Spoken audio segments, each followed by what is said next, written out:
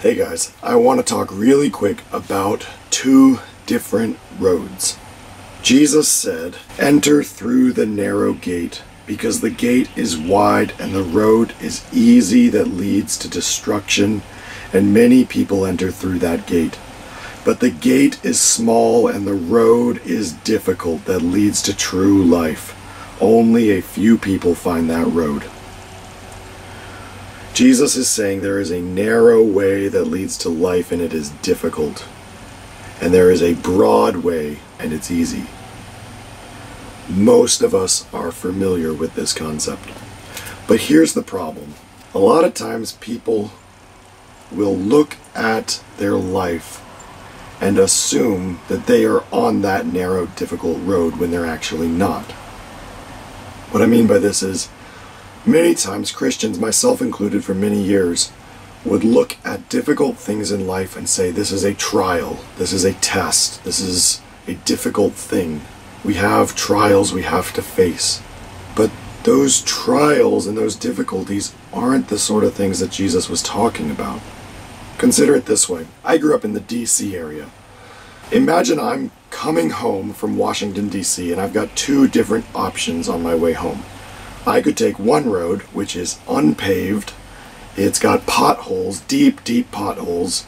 It's got bushes overgrown that sometimes you have to get out and like hack them away to get them out of the way. It's a difficult road, and it's a narrow road. My other option is the Beltway, I 495 at rush hour. If you are just driving home on I 495, you might think that you are on the difficult way. Everyone ultimately chooses to go home that route because it's easier than the small, narrow road that's unpaved with potholes.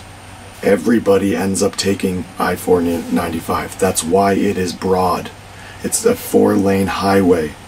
And yes, it has its difficulties, but it's nothing compared to the small, narrow road. Few go down that road because at the end of the day, I 495, even in rush hour, is the easiest way to take.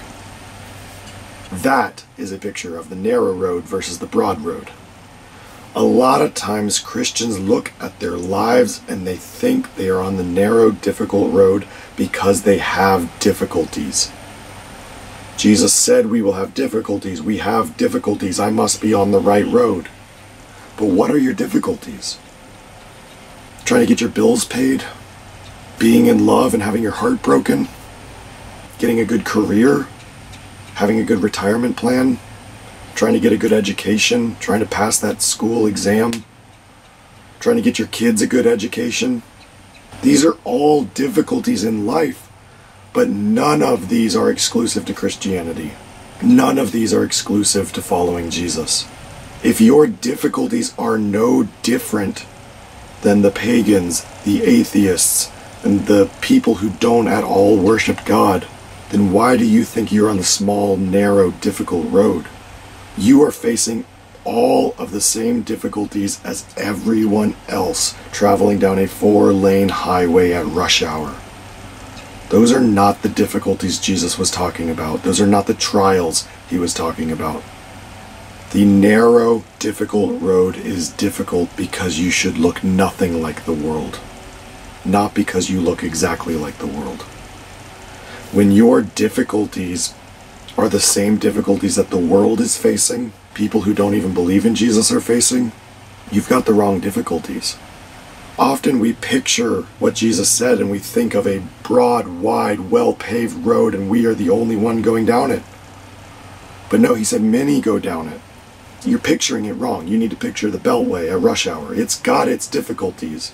But even at rush hour, it is still the easiest way to go we picture the broad way that Jesus talks about as having absolutely no trials, no hardships, no difficulties. But that doesn't make any sense when we look at the world because even people who don't believe in Jesus have difficulties.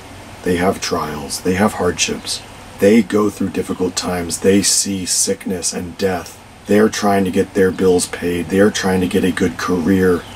They are trying to have a good retirement at the end of their life. They are trying to get a good education. They are trying to get their kids to have a good education. They are trying to raise their kids and they're busy with having lots of kids around the house. Every one of those things is faced by people who don't believe in Jesus. So if those are your difficulties and you don't have anything else, are you on the right path?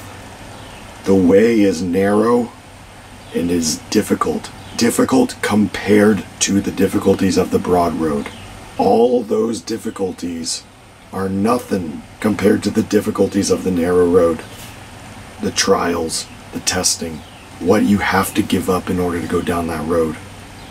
The way of Jesus is difficult. It's difficult compared to the way of the world, compared to the way of those who will not enter the kingdom. That does not mean the other way doesn't have difficulties, but in comparison, it's easy. Jesus said a lot of things that we're supposed to be doing that many Christians don't do. He talked about selling your possessions, giving to the poor, giving to everyone who asks, not loving money. More than not loving money, you need to hate money, hate possessions. He talked about being insulted, mocked, persecuted, maybe even killed.